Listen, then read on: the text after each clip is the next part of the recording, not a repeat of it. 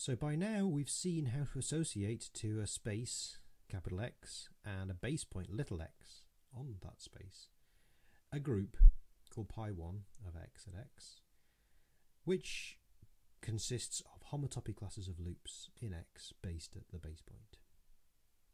And you might ask, well, what happens if we use a different base point? Do we get a different group? Well, a priori, yes, we get a different group. But what we're going to see in this video is if I have a path from x to y,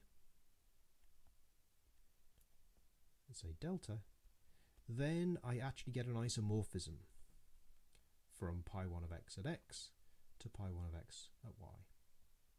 Or the other way, it's an isomorphism. So if x is not a path connected space, like for example this space, right, a union, disjoint union of a torus and a sphere, you could pick a base point over here and you could pick a base point over here, and the fundamental groups have nothing to do with one another. So this isomorphism isn't going to hold in general, it's only if you can find a path from x to y. Moreover, if you pick a different path, you might get a different isomorphism between these groups. Right? An isomorphism is a thing, it's a map from, from one group to the other, which has an inverse. Um, but you, you can get different isomorphisms from different paths. So what's the idea?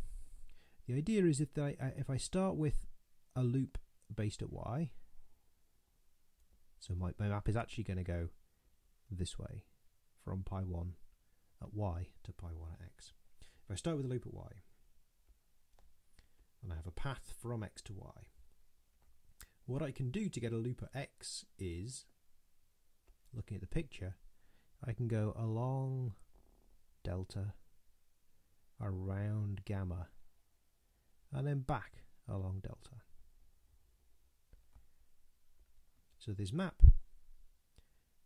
is going to send gamma to delta gamma delta inverse. So that looks a lot like conjugation, right? So it's not quite conjugation because delta is not an element of either group. Right? Delta is a path. It's not a loop. It's a path from x to y. But nonetheless, it looks a lot like conjugation. So the claim is this map is an isomorphism. Well, I guess first the claim is that it's well defined.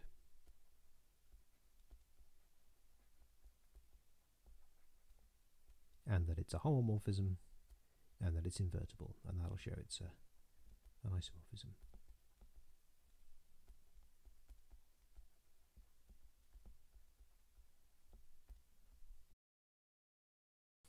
To see it's well defined, all I have to do is to check that if I pick a homotopic loop gamma, I get a homotopic loop over here.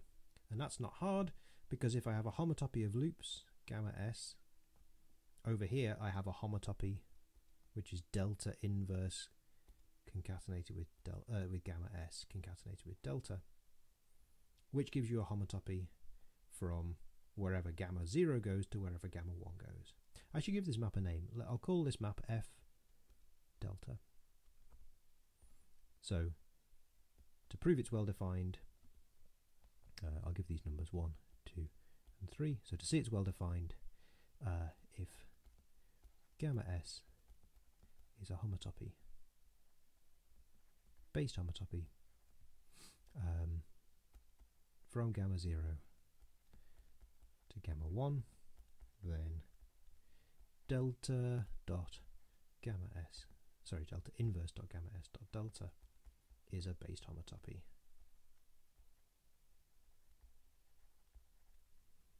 From f delta gamma 0 to f delta gamma 1. And that proves it's well defined. If I want to say it's a homomorphism, that's not too hard. All right, so um, CF delta is a homomorphism.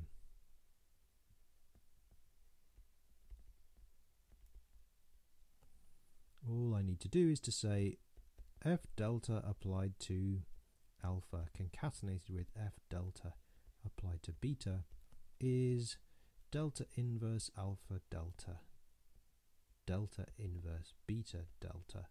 The delta and the delta inverse cancel. If I go along delta and then back again, that's homotopic to the constant path. Um, so these cancel and I get delta inverse alpha beta delta, which is f delta of alpha beta.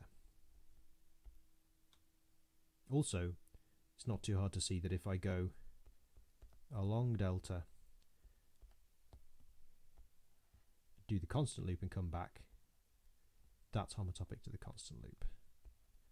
So that's saying that the identity goes to the identity.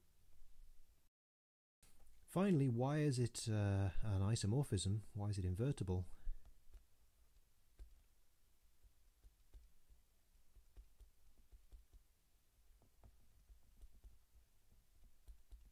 Well, f delta of gamma is delta inverse gamma delta. So I claim that if you go backwards along delta, you get an inverse for f delta. Right, so the map f that transports the loop backwards along delta instead of forwards along delta um, is an inverse for f delta.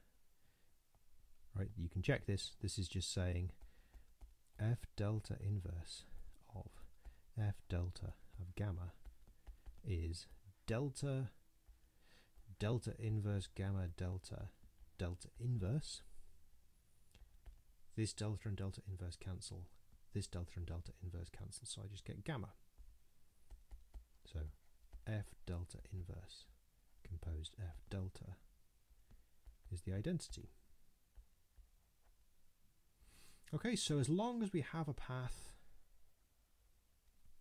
we get an isomorphism between fundamental groups.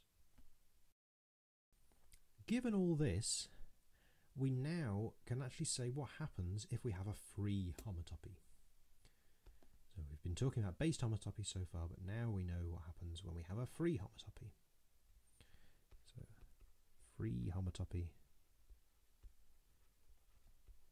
of loops. Remember, a free homotopy is one where the base point can move.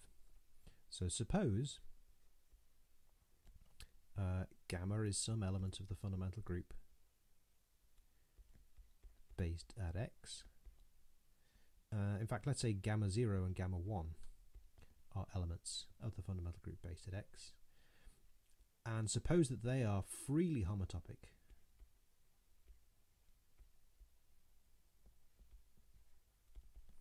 some free homotopy gamma s. So gamma 0 is based at x, uh, gamma 1 is based at x, but gamma s is allowed to go wherever it wants. So it traces out some kind of a tube.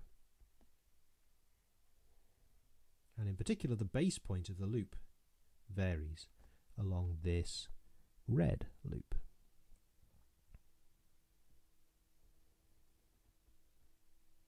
Right, so it starts being based at x, in other words, gamma 0 at time 0 is at x, gamma s at time 0 might be over here, then over here, then over here, until it comes back to x. Right, so free homotopies don't have to come back to pi 1 of x, but I'm saying what happens if they do? Right, we can actually change the homotopy class. And how does it change? Well, if this red loop is called delta, then from what we just said on the previous page, gamma 1 equals delta inverse. Uh, have I got this right around? Gamma, let's back go back and have a look. I think it's the other way around, isn't it? Gamma 0 is delta inverse gamma 1 delta. Right, if I go around delta, around gamma 1, and then back around delta, I can pull that back until I get to gamma 0. And now this is really a conjugation statement. right? Because delta is a loop based at x. So this is saying gamma 0 and gamma 1 are conjugate.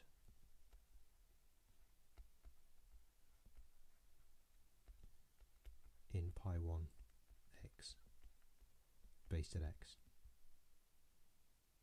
And depending on which loop you pick, you could get many different conjugates of the same loop. This is why I said the, the map from pi 1 of x, in this case back to itself, depends on which path you pick to identify the two base points, the base point with itself. So this implies that if you have freely homotopic loops, they're conjugate in pi 1. So free homotopy classes of loops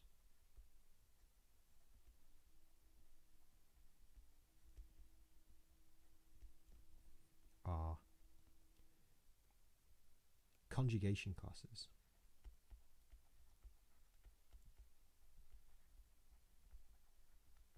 in the fundamental group. This is actually a really useful fact because, for example, if your fundamental group is abelian, like the integers, conjugacy, conjugacy is really boring because abelian groups, everything commutes, so the delta and the delta inverse will cancel. So in an abelian group, there's no difference between homotopy and free homotopy. So let's write this down, corollary. Um, if pi 1 is abelian, then two loops based at x are freely homotopic if and only if they're based homotopic.